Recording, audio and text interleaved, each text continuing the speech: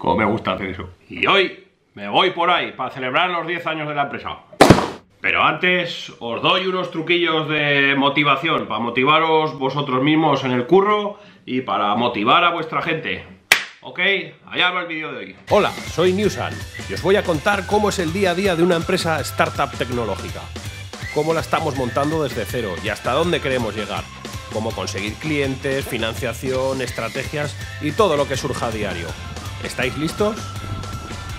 Bueno, pues esto es una cosa muy sencillita que es un truco que, empleo yo, tanto para motivarme a mí mismo como para motivar a la gente que está en mi equipo. Es una chorrada, pero que es súper efectiva si os paráis a pensarla, porque al final somos personas y todos reaccionamos con las mismas movidas. Entonces existen varios tipos de motivaciones, existen muchísimos tipos de motivaciones psicológicas para abarcar un proyecto o para currar o para, conseguir lo que sea, ¿no? Deporte o lo que quiera. Existen muchos tipos de motivaciones. Yo os voy a explicar cuatro que son súper sencillas, que solo es pararse a pensar un poco cuál de esas motivaciones son las que mueven a cada persona de tu proyecto o a ti mismo, para potenciar también a ti mismo dentro del proyecto. Y así te conoces un poco más y sabes qué es lo que quieres conseguir. Por lo tanto, os voy a explicar cuatro. Hay muchísimas, pero cuatro. El que quiera leer más, pues eh, que os dejo links por aquí abajo. O me lo ponéis en comentarios si pensáis que hay otras más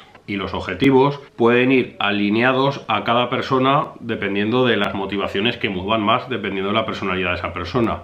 Así que allá vamos. Motivación de poder. La motivación, o de postureo que digo yo, la motivación de a la peña que le da igual el dinero y le da igual todo y solo le mola que se le reconozca, que se le reconozca una situación de poder, o sea, como es el que, el que mejor, el que mejor lo hace. Segunda, motivación social. La motivación de esa persona que le gusta ser reconocida y, que pertenece a un grupo, o sea, que, que cuando llega, que, que, su motivación máxima es saber que pertenece a, un, un, grupo. Gente que su mayor motivación del mundo es saber que pertenece a una organización potente o a una organización de gente o a un proyecto que lo está petando. Motivación social. Motivación de perfección. La gente perfeccionista, la gente que le gusta saber o que le reconozcan que está perfecto hecho. O sea, has hecho un trabajo perfecto. Hay gente que es así, que necesita que le reafirmen y, le da igual que le pongas un premio económico o lo que sea, que simplemente quieren que le digas que el trabajo que ha hecho lo ha hecho perfecto.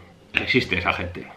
Y la cuarta y casi más importante, la motivación por eh, objetivos, o sea, por logros. La gente que simplemente le motiva que le digas, tienes que llegar hasta aquí y llegas por mis cojones. O sea, la gente que necesita que le marquen objetivos o metas eh, para poder llegar a conseguirlas. Y lógicamente que van ligadas a motivaciones económicas. Hay gente que le dices, eh, tienes que llegar hasta aquí y hasta aquí. Ahí es la más común de las, de las motivaciones. Pero bueno, si conocéis alguna motivación más o si me ponéis en comentarios qué es lo que más os motiva a vosotros o a gente de, vuestro equipo, pero es muy bueno que podáis analizar, yo que sé, que tenéis un equipo de tres personas, pues que analicéis una por una o se lo preguntéis directamente, oye, ¿a ti qué motivación ¿Qué, qué te motiva? Pues me motiva que, que me des las gracias por hacer las cosas, o me motiva que me des pasta, o me motiva que me marques objetivos para conseguirlo, o me motiva que he sido el mejor de los tres haciendo tal cosa. Pues ese es el resumen de las cuatro motivaciones que os he dicho.